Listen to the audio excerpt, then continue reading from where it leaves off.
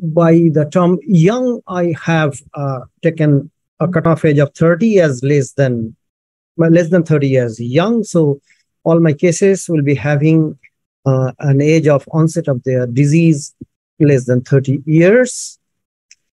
Uh, this is the definition for secondary diabetes, which is either due to uh, destruction of the pancreatic beta cells of genetic or environmental origin or insulin resistance and sometimes a combination of the two. And you can run down the list to see exocrine pancreatic disorders, the endocrinopathies, drugs, and so on and so forth. And, and these are the genetic syndromes, some of which have been covered by Dr. Nihal and Dr. Pandey. Uh, so there will be some overlap. I will uh, try to rush through. Dr. Nihal had taken us through one case of Bardet-Biedl syndrome with a in a boy, and here is a nine-year-old girl with the same Bardet-Biedl syndrome, mental retardation, obesity, uh, diabetes. You can see acanthosis. He uh, lists of conditions that give rise to secondary diabetes. The genetic syndromes have been covered by almost, uh, I say, partly, fully by Dr. Nihal. So Dr. Nihal shared with us a boy with Bardet-Biedl, and here you have a girl with Bardet-Biedl. Similar presentation, acanthosis, obesity, mental retardation, uh, postaxial polydactyly. Uh, uh, this is slightly different so presenting with weight loss, osmotic symptoms, uncontrolled hyperglycemia, and you can see partial ptosis, uh, muscle atrophy, and the typical EMG uh, of, of myotonic dystrophy. This man also had problem with, you know, hypogonadism. Okay. So myotonic dystrophy. Uh, this was the first presentation in the literature of a case of Friedreich's ataxia uh, presenting with diabetic ketoacidosis. Uh, acromegaly presenting with secondary diabetes, so that's endocrinopathy causing diabetes. Typical pituitary Cushing presenting with diabetes secondary to insulin resistance. Thyroid disorders, both hyper and hypothyroidism can give rise to glucose intolerance and diabetes. And uh, here are the prevalence data for you. So in hyperthyroidism, catecholamine excess causing both insulin resistance and insulin secretory defect can give rise to diabetes. But at the same time, the hyperthyroid state accelerates the degradation of insulin and also promotes faster insulin absorption from the intestine, uh, thereby causing hyperthyroid state and, and hyperthyroidism may also come up as uh, part of a polyglandular autoimmune syndrome decreased uh, GLUT4 expression and some polymorphism involving the D2 gene causing abnormal local T3 production, uh, which impairs glucose disposal, uh, have been touted as the cause of uh, insulin resistance and diabetes in hypothyroidism. FCPD has been discussed in details. I will skip. So this is a typical uh, X-ray picture. Uh, pancreatic calculi, ductal dilatation across L1. Here you can see dilatation already covered. What has not been covered possibly is this. The pancreatic cancer can arise out of fibrocalculous pancreatic diabetes. And uh, here you can see pancreatic cancer, huge mass there in the setting of FCPD. And in this brief communication, we have actually presented uh, data on three such cases of pancreatic carcinoma under our follow-up.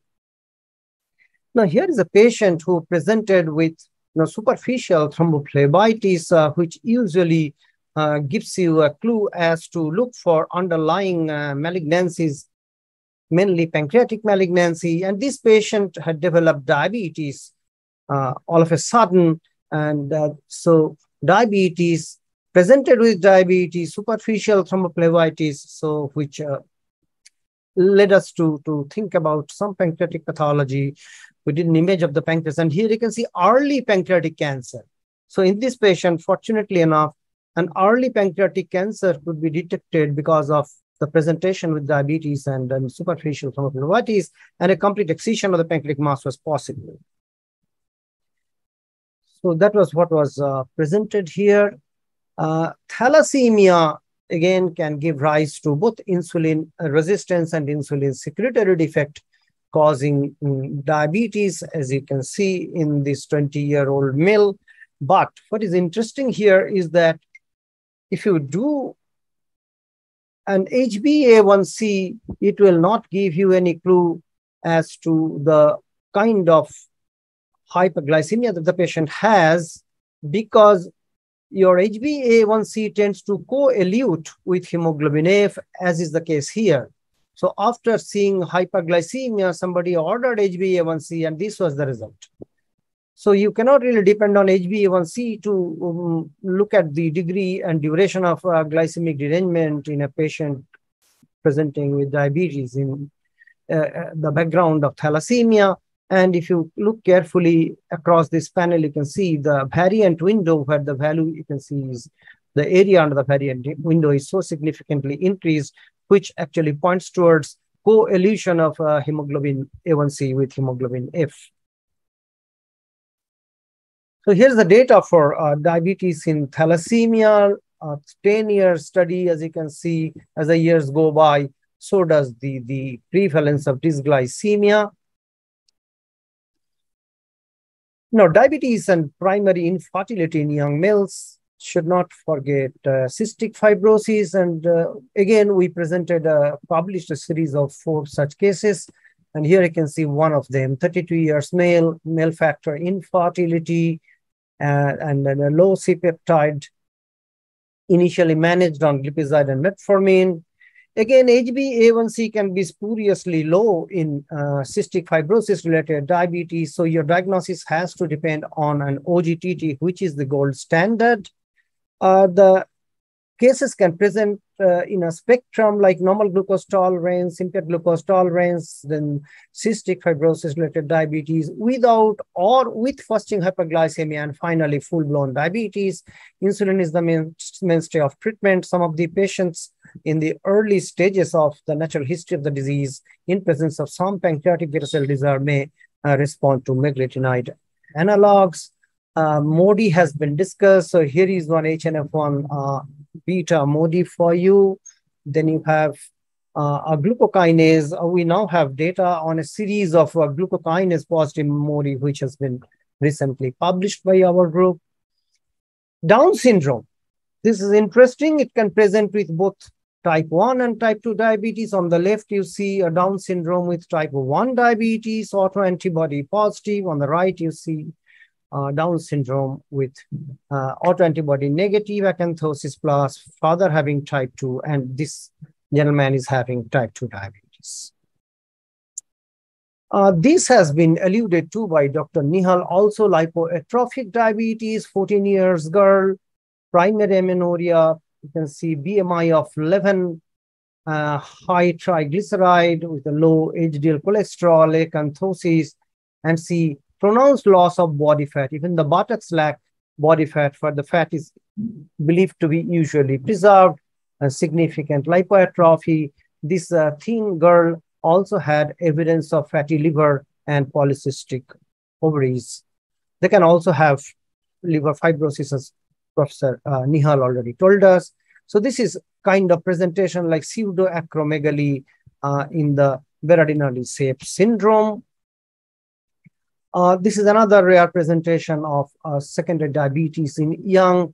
Uh, here you can see exuberant hair, hirsutism, and characteristically a double row of teeth present here on the lower jaw, which is a typical finding seen with uh, this syndrome, Rabson-Mendenhall, and they have extreme insulin resistance. Uh, this has been discussed, uh, deafness, then, you know, sensory neural deafness, and then uh, bilateral optic atrophy, blindness, no hypogonadism. here can see primary optic atrophy, retinitis pigmentosa, similar case was shared by Dr. Nihal also. Autosomal dominant polycystic kidney disease and diabetes, no DKA, uh, hypomagnesemia is considered characteristic, and some of them have also been associated with elevated uric acid level. so this is our experience. This is pre-COVID, uh, pre-2018 data. Actually, the numbers have gone up appreciably since then. So you can see your uh, secondary diabetes, four cases of molybdenum. Now it's nine uh, glucocorticoid induced, one Friedreich's ataxia. Then your Cushing's five, acromegaly, uh, lipodystrophy, cystic fibrosis. As I said, it was then one case only, but now we have three cases which you have reported. Bardet-Biedl syndrome two. I think that was the last slide. So um, thank you for listening.